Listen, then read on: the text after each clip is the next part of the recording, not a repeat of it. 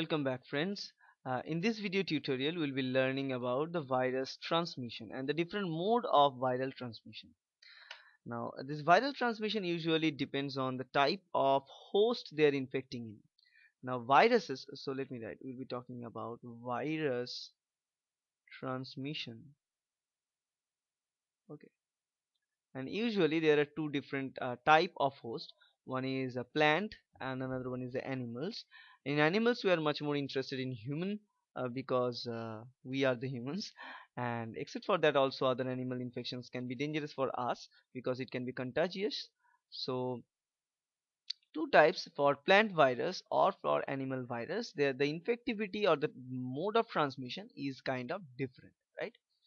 So so let me talk. For plant and for animal animals like humans the mode is varying right? Now for the plant viruses the mode of entry usually is made by vector or using vectors right? Now it uses vector.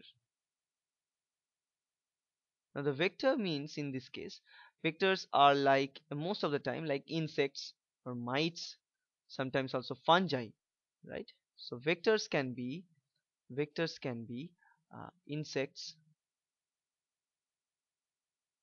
Vectors can be mites. It can be nematodes.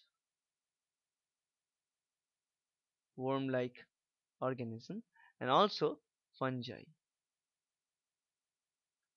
These things can act as vectors to transmit infection from one plant to another plant to transfer the infection from one plant to another plant right? Usually they are um, carried out by plants uh, by these vectors.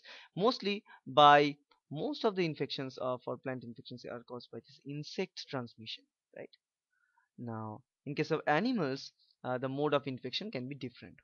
Now in case of animals it can be via air. So let me talk. It can be via air.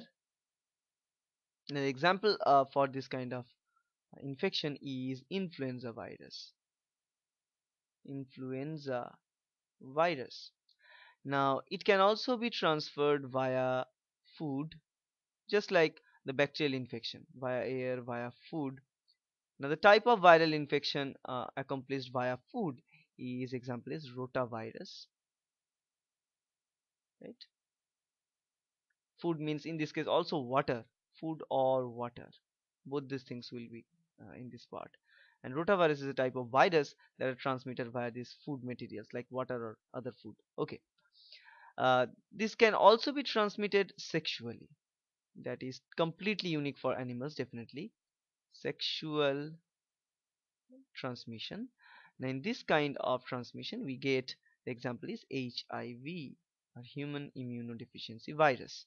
Now in this case this will result finally in different type of STDs or sexually transmitted diseases right? And finally the fourth type of transmission can be via vectors. Via vectors right? Now the vectors that in this case also it, it is usually uh, sometimes rodents. Rodents can act as vectors uh, insects can act as vector. Mites can also act as vector and all these things. Now the example for this vector borne virus infection in human being is yellow fever. And the virus is yellow fever virus. So yellow fever virus. Okay. So that's the general scheme of the virus transmission in plants as well as in animals. And I hope that's kind of help you thank